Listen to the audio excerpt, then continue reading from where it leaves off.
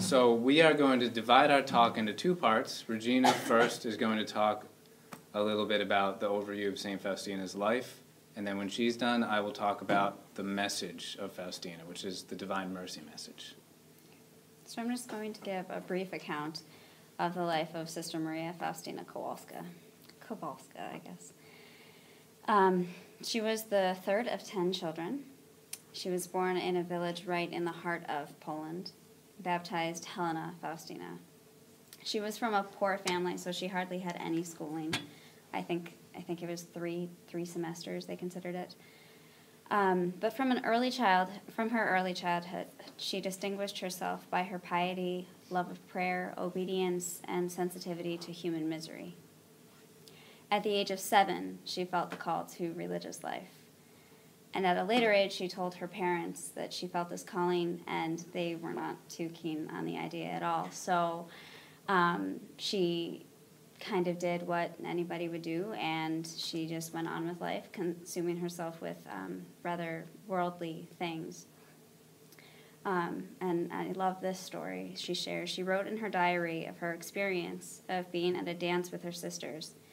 Um, you know, doing everyday things. And she said, while everyone was having a good time, she felt her soul experience deep torments. She wrote, As I began to dance, I suddenly saw Jesus at my side, Jesus racked with pain, stripped of his clothing, all covered with wounds. She heard him say to her, How long shall I put up with you, and how long will you keep putting me off? So she wrote, At that moment, the charming music stopped, and the company I was with vanished from my sight. There remained Jesus and I.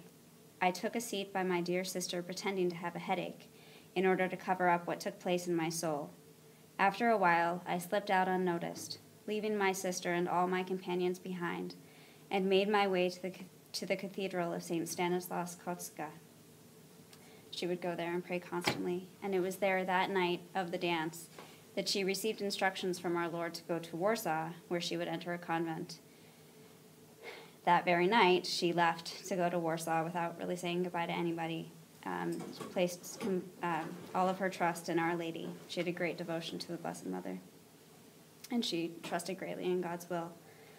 Upon arriving in Warsaw, she stayed with the lady while she looked for a convent, the one that God spoke of, but she wasn't accept- accepted anywhere she tried countless convents and no one accepted her until she knocked on the door of the congregation of the Sisters of Our Lady of Mercy, and she was accepted there. And that's where she entered and became Sister Maria Faustina of the Blessed Sacrament when she was 19 years old. She wrote of her experience at one time of actually doubting that decision, but God spoke to her and told her that it was to that convent that He called her, so it was there she must stay. And from that day on, she said she felt happy and content. And this was yet another beautiful example of placing complete trust in God's will. Early on in her life as a religious sister, she felt especially called to pray for the souls in purgatory. This was very um, evident to her after she actually had an experience where her guardian angel um, brought her to purgatory and showed her the suffering souls there. And she asked the souls, What is, what is your greatest suffering? And they told her that their greatest suffering was longing for God.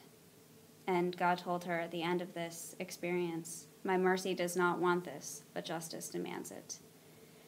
She also saw hell at one point and the souls that did not want God's mercy. Um, and she, she wrote that they condemned themselves to eternal death.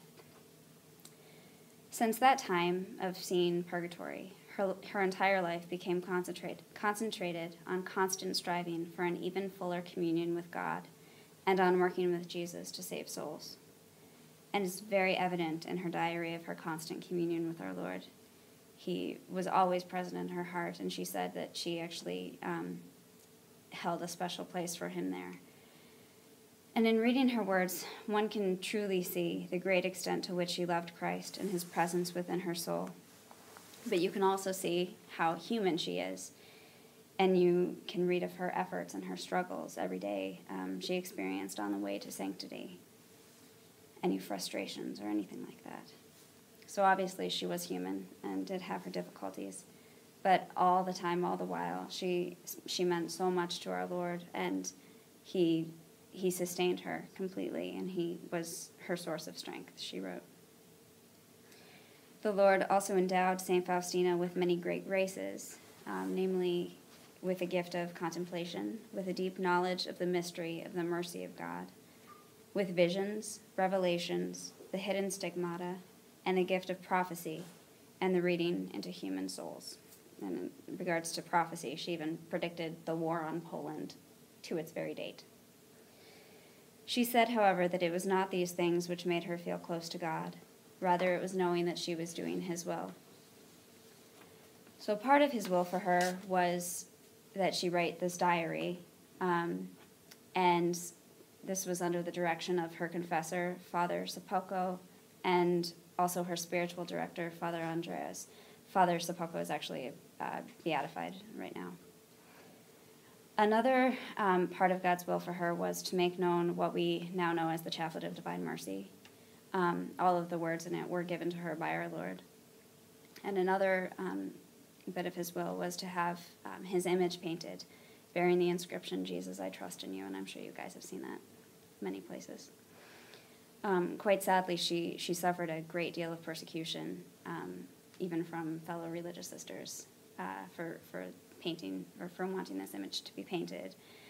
Um, and they also had their doubts about her regarding many other things. But she just sacrificed and prayed for them. Um, but she said at one point that she really lived purgatory on earth, and God actually told her, You will live purgatory on earth. In her diary, St. Faustina wrote of many things, many experiences, but the greatest point she focuses on is the mission to spread the message of the divine mercy of God. In short, her, miss- her mission is to remind us of the forgotten truths of our faith about God's merciful love and to prompt us to respond to that merciful love. He said, The more a soul trusts, the more it will receive.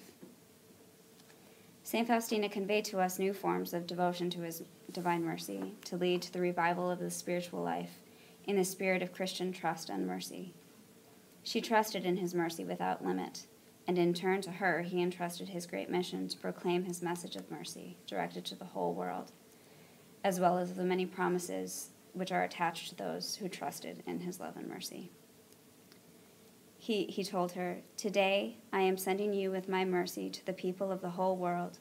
I do not want to punish aching mankind, but I desire to heal it, pressing it to my merciful heart.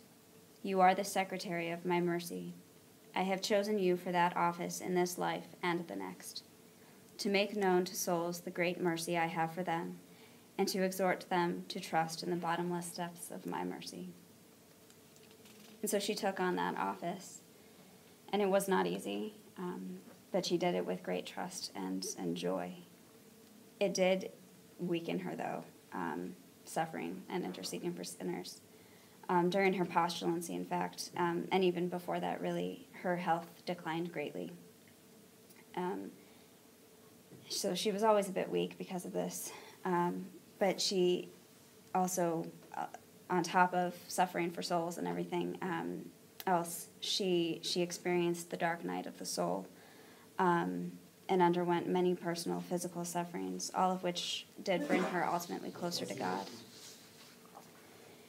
Um, she suffered from tuberculosis which spread to uh, and attacked her lungs and this is what ultimately led to her death.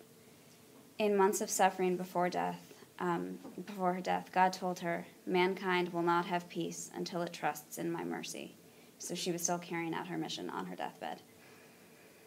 Um, and she wrote in her diary I feel that my mission will not end with my death, but will only begin with it.